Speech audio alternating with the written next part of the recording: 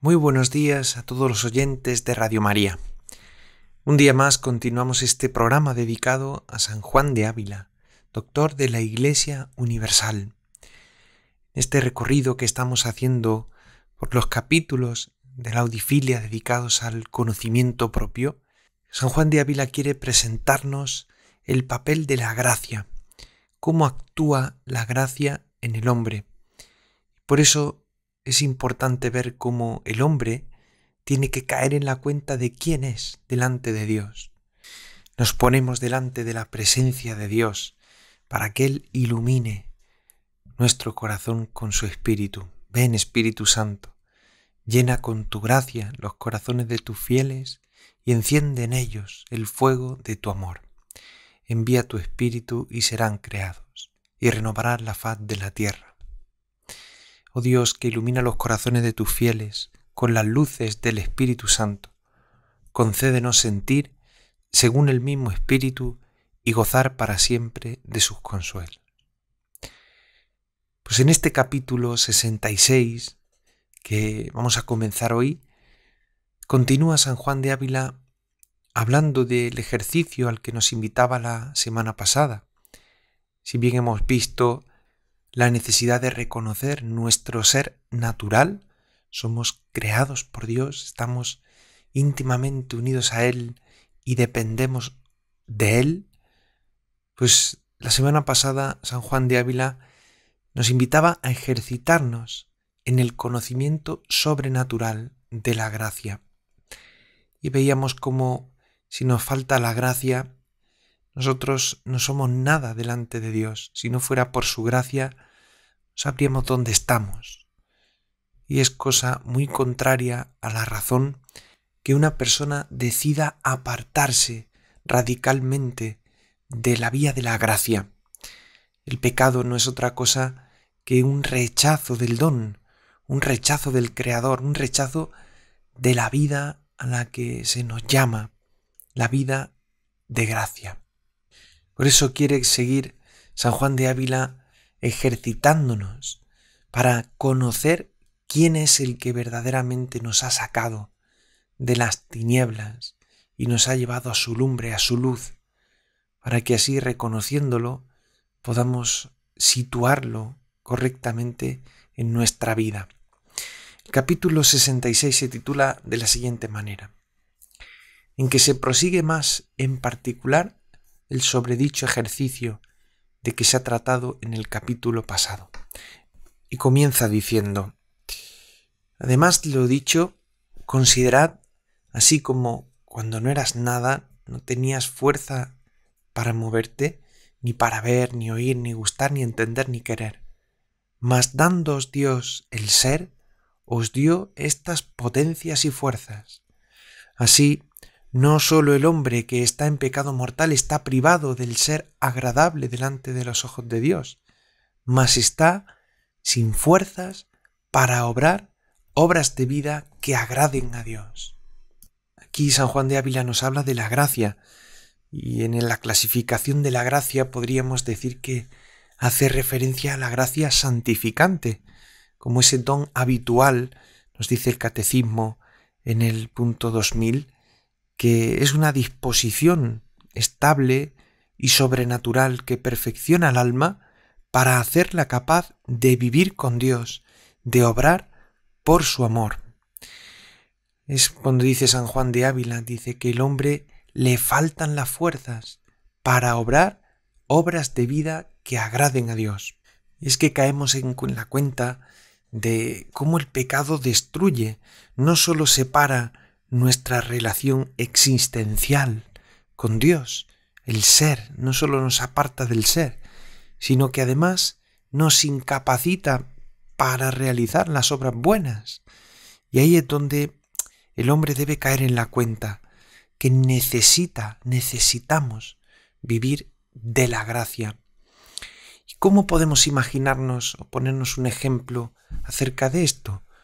Pues dice San Juan de Ávila y pone unos ejemplos muy elocuentes. Dice, por esto, si algún cojo vieras o manco, pensad que así está el hombre sin gracia en su alma. Si algún ciego, sordo o mudo tomadlo por espejo en que os miréis, y en todos los enfermos, leprosos, paralíticos, que tienen los cuerpos corvados y los ojos puestos en tierra, con toda la otra muchedumbre de enfermedades que presentaban delante el acatamiento de Jesucristo, nuestro verdadero médico, entended que tan perdidos están los malos cuanto a los espirituales sentidos, cuanto estaban aquellos en los corporales.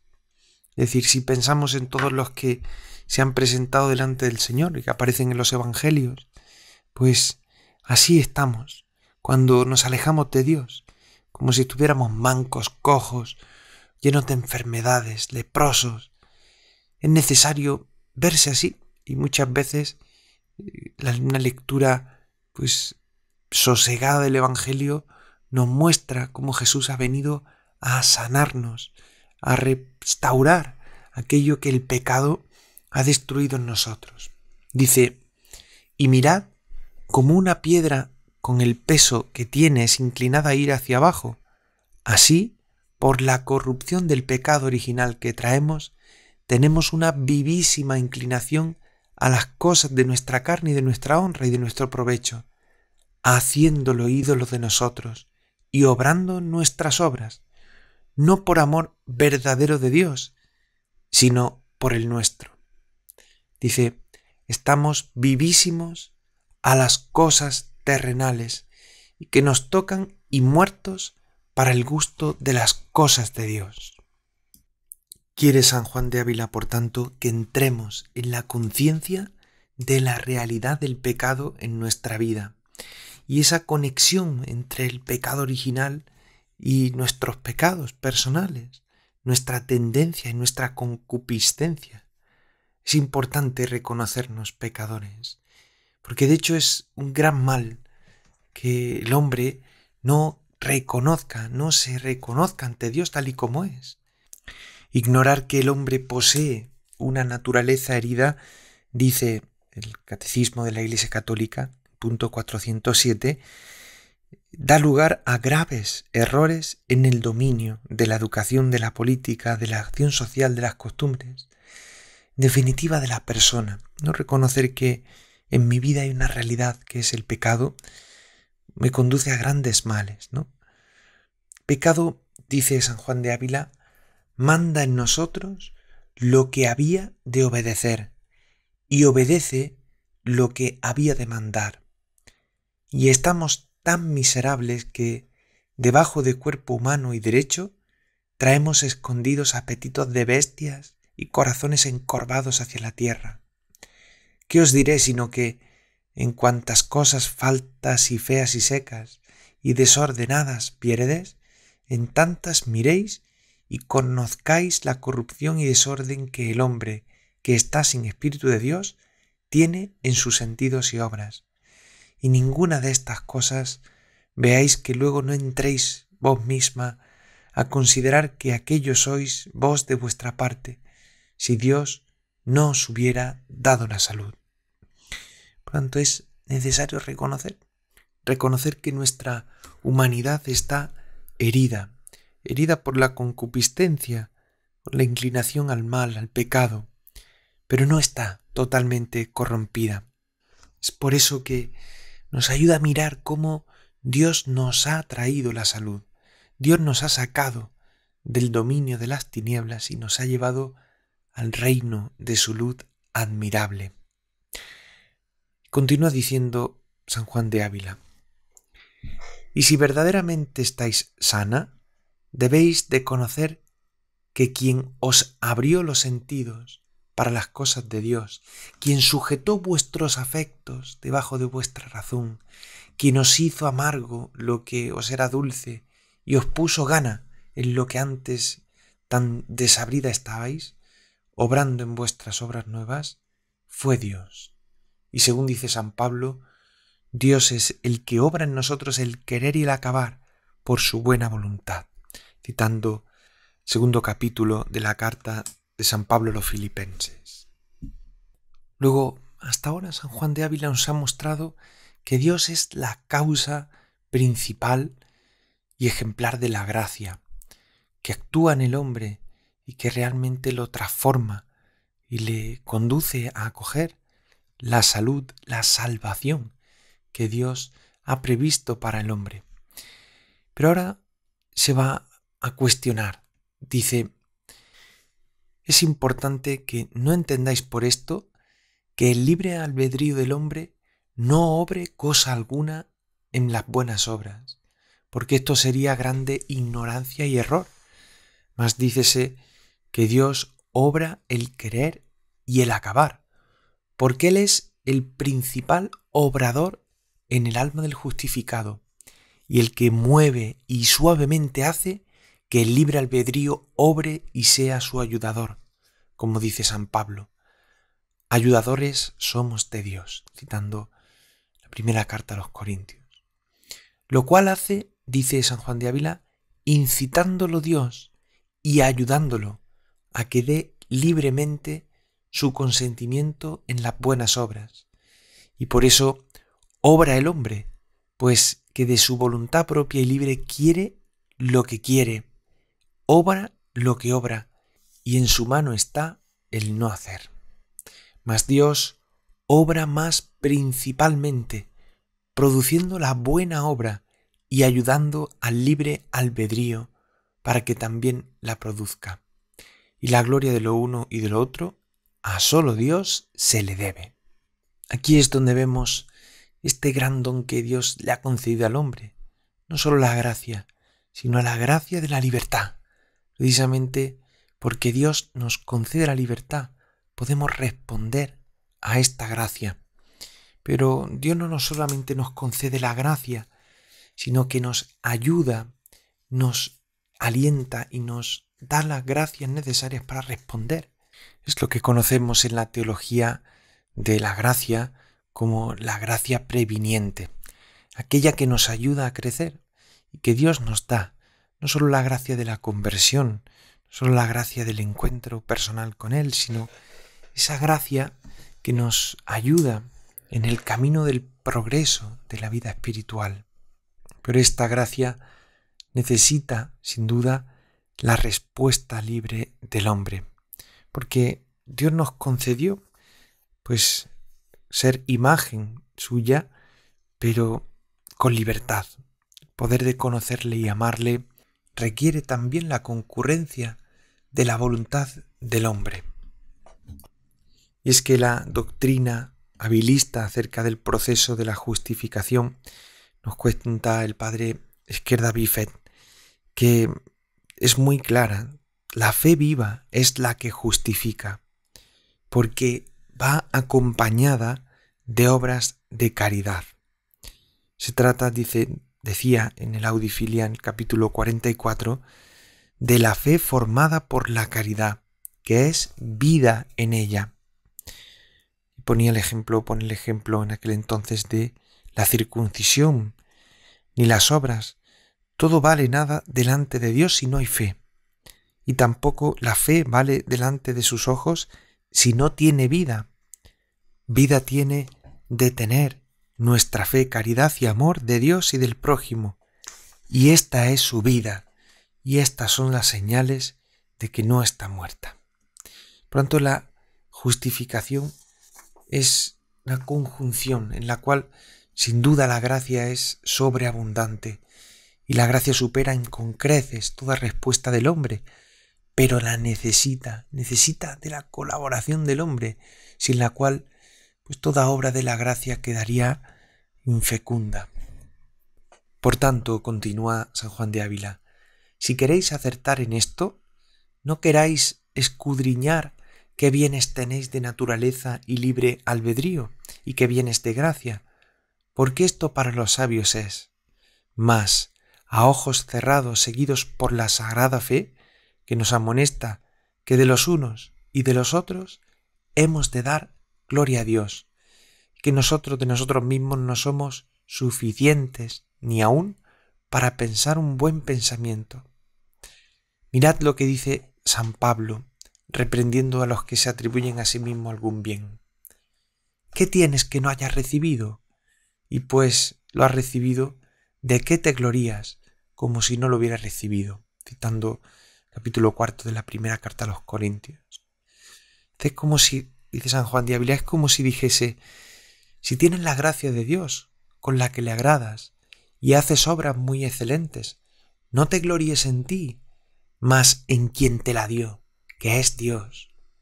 Y si te glorías de usar bien tu libre albedrío y en consentir con él a los buenos movimientos de Dios y su gracia, tampoco te gloríes en ti, mas en Dios, que hizo que tú consintieses, incitándote y moviéndote suavemente y dándote el mismo libre albedrío con que tú libremente consientas. Bonito es ver cómo Dios nos ayuda con su gracia. Suavemente, dice San Juan de Ávila, no nos aprisiona, no nos aprieta, sino que con su gracia poco a poco nos va llevando. Si le vamos dejando, Él nos va llevando por el camino de la acogida de la gracia. Y continúa diciendo, y si te quisieres gloriar de que, pudiendo resistir al buen movimiento de la inspiración de Dios, no lo resistes, tampoco te debes gloriar, pues eso no es hacer, mas dejar de hacer. Y aun esto también lo debes a Dios, que ayudándote a consentir en bien, te ayudó para no resistirlo. Es que hay que comprender que en la vida de la gracia tiene que ver más con dejarse hacer que con hacer. Es dejar que Dios realice en nosotros aquello que está soñando y no tanto pues una serie de prácticas, una serie de cosas que yo tengo que poner en marcha. Por eso dice que aquel que se deja guiar por la obra de Dios y que no resiste a sus inspiraciones, en el fondo lo que está es dejándose hacer, dejándose hacer por Dios. Dice, y cualquier buen uso del libre albedrío en lo que toca a tu salvación, dádiva es de Dios, que desciende de aquella misericordiosa predestinación con que determinó abdeterno salvarte. Sea pues toda tu gloria en solo Dios, de quien tienes todo el bien que tienes, y piensa que sin Él no tienes de tu cosecha sino nada, y vanidad y maldad. Es para vivir realmente en constante acción de gracias a Dios. Gracias Señor. Gracias porque con tu ayuda, con tu misericordia, yo soy el que soy. Yo he recibido tanto a lo largo de mi vida, no solo el ser, sino cómo has ido obrando en cada circunstancia de mi vida, cómo me has ido guiando, cómo me acompañas, cómo me das la gracia cada momento, cada situación para responder a las inspiraciones de tu amor. Y conforme a esto, dice una glosa sobre aquello de San Pablo, el que piensa ser algo, sea como nada, y así mismo se engaña, citando capítulo 6 de Gálatas, que el hombre de sí mismo no es sino vanidad y pecado, y si otra cosa más es por el Señor Dios, lo es. Y aquí nos cita San Juan de Ávila al propio San Agustín, cuando dice, me abriste los ojos, luz, me despertaste y me alumbraste, y vi que es tentación de la vida del hombre en la tierra, y que ningún buen hombre se puede gloriar delante de ti, ni es justificado todo hombre que vive, porque si hay algún bien chico o grande, don tuyo es, y lo que es nuestro no es sino mal. Pues ¿de dónde se gloriará todo hombre? ¿Por dicha del mal? Esta no es la gloria, sino miseria. Pues gloriarse ha del bien, pues no, porque es ajeno. Tuyo es, oh Señor, el bien, tuya es la gloria. Continúa citando a San Agustín cuando dice, Yo Señor, Dios nuestro, confieso ante ti mi pobreza, y a ti sea toda gloria, porque tuyo es todo el bien que yo haya hecho. Yo confieso, según me has enseñado, que otra cosa no soy sino vanidad y sombra de muerte, y un tenebroso abismo, tierra vana y vacía, que sin tu bendición no hace fruto, sino confusión y pecado y muerte. Si algún bien en cualquier manera tuve, de ti lo recibí. Cualquier bien que tengo, tuyo es, de ti lo tengo. Si algún tiempo estuve en pie, por ti lo estuve, mas cuando caí, por mí caí. Y siempre me hubiera estado caído del lodo, si no me hubieras levantado tú. Y siempre fuera ciego si tú no me hubieras alumbrado. Cuando caí, nunca me hubiera levantado si tú no me hubieras dado la mano. Y después que me levantaste, siempre hubiera caído si no me hubieras tenido. Muchas veces me hubiera perdido si tú no me hubieras guardado. Y así, Señor, siempre tu gracia y tu misericordia anduvo delante de mí, librándome de todos males, salvándome de todos los pecados, despertándome de los presentes, guardándome de los de porvenir y cortando delante de ti los lazos de los pecados, quitando las ocasiones y causas. Porque si tú, Señor, esto no lo hubieras hecho, todos los pecados del mundo hubiera hecho yo. Porque sé que no hay pecado hay en ninguna manera que no haya hecho un hombre, que no lo pueda hacer otro hombre si se aparta el guiador por el cual es hecho el hombre. Mas tú hiciste que yo no lo hiciese, y tú mandaste que me abstuviese, y tú me infundiste gracia para que te creyese, porque tú, Señor, me regías para ti, y me guardabas para ti, y me diste gracia y lumbre para no cometer adulterio y todo otro pecado. Pues con estas palabras de San Agustín, que son como una oración preciosa para que cada uno pueda pues iniciar este diálogo con Dios. Él es el que me lo ha dado todo.